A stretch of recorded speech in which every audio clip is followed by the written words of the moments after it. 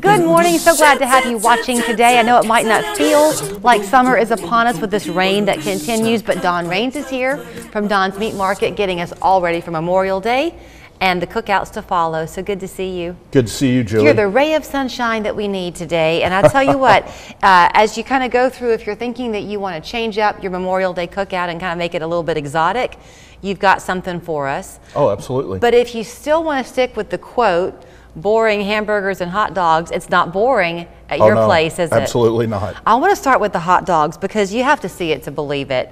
Um, this is not what you're finding at the grocery store. No, these are twice the size.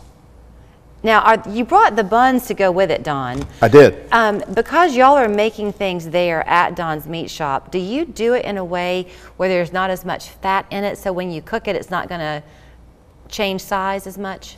Absolutely. You know, like our sausages, uh-huh. they're leaner than most grocery store sausages. That's a bratwurst, right? Yep. This is a bratwurst. Okay. And it won't shrink.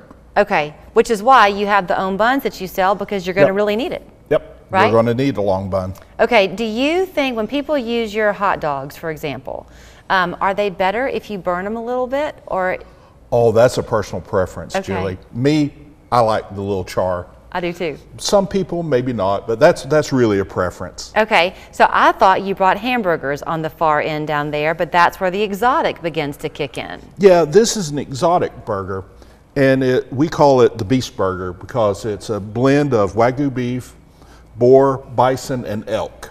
I'm guessing those are also going to be lean. They are are the only fat sources from the Wagyu beef. Okay, so is that going to have a different taste, Don? It's going to have a bolder taste, but it, not gamey. They're really good and really flavorful. You don't want to overcook them. Okay. You know.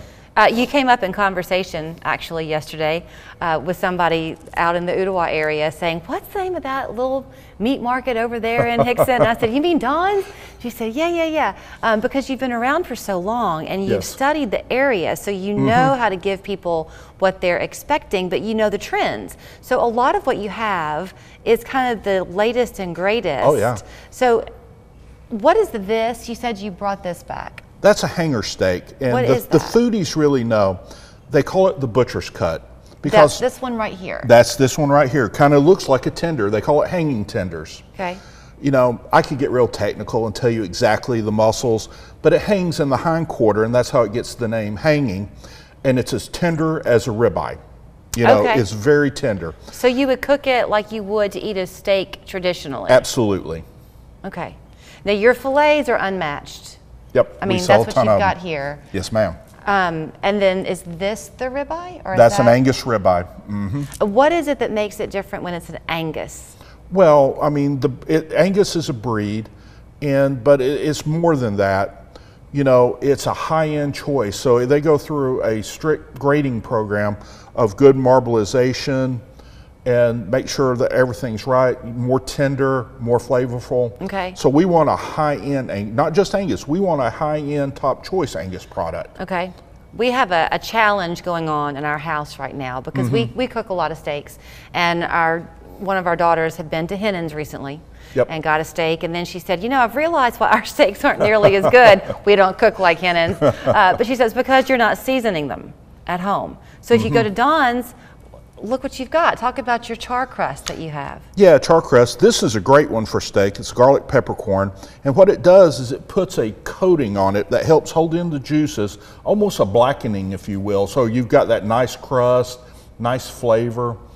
And we sell a lot of this, especially this for steaks. But, you know, we've got options for pork chops, mm-hmm. hamburgers, you name it. We Wait, have a lot of flavors. Your, you didn't bring your pork chops today or the chicken, but you've got that galore at the store also, and that's an Yeah. easy summertime favorite, right? I did bring a pork chop, Julie. I just didn't have room to get it on. I brought a lot of stuff. Well, okay, but you did bring a version of pork. You brought some Right, ribs. I did. Now, this is a beef rib or is that a pork rib? That's a beef rib. That's a beef short rib.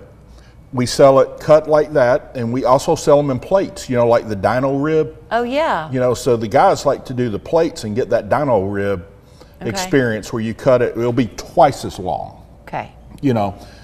and then you smoke it for about eight hours. I still don't understand this, but you talk about it all the time. This pork belly. Is that what that says? That is a pork belly, but that's a new item for me. That is a pre-smoked pork belly. So let's say you don't have six hours to smoke a pork belly, then chill it down, cut it to make burn ends. That all you have to do is thaw out, add the sauce, put it in the pan, put it on smoker. A few hours later, you have burn ends. Oh, and if you didn't need to use all of this, you can save it. Is that right? Absolutely. Okay. But now this is a traditional, is that a baby That- back?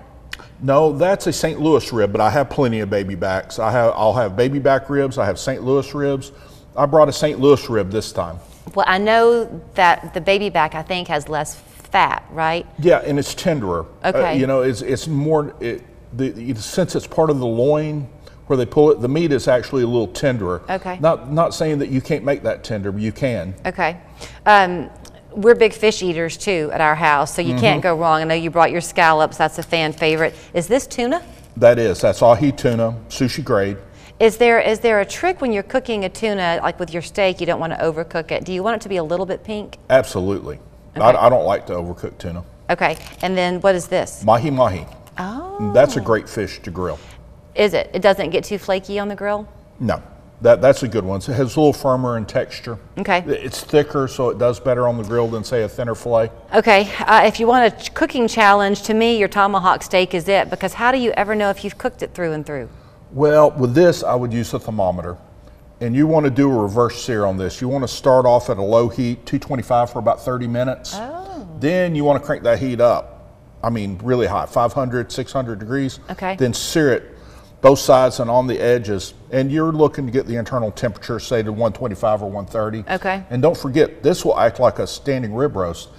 It, the temperature will rise after you take it off the grill, so you need to Oh. allow for that. Okay, which is when you go to shop, if you've not eaten these things before, do pick his brain because he'll tell you how to do it the right way. And then the last but not least, what is this tri-tip? How do That's you a tri-tip Uh, you know, I call it a grilling roast. It's steak, so you can cook that whole. It can go on a smoker. It can go on the grill.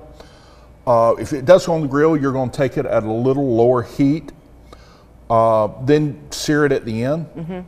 But it's people will slice it up and serve it family style. Okay. You know, we have a lot of new residents from California around Yeah. here. They're finding me because I have tri-tip, and they're looking for it. Well, if people find out that your Memorial Day plans involve anything from Don's store and they invite themselves over and now you're having to get extra food, are y'all going to be open Memorial Day? We are. We're going to be open 9 to 4. We're going to close a little early. Okay. But we'll be there till 4 p.m. Okay, so go shop him. Mondays traditionally are their sale on chicken. Yep. Uh, if you want to make a plan to go multiple times during the week, 842-1256 is the phone number. If you've got a large uh, group of people and you want to make sure you can kind of mm-hmm. pre-order something, you're welcome to call him. Go find him on Hixson Pike or donsmeatshop.com. Happy Memorial Day. Happy Memorial Day to you, too, Julie. Badcock's biggest Memorial Day sale is happening now. Save up to 50% store wide. And for one week only, get an extra 10% off, including BOGO recliners. Find all your just right styles only at Badcock Home Furniture and More. Just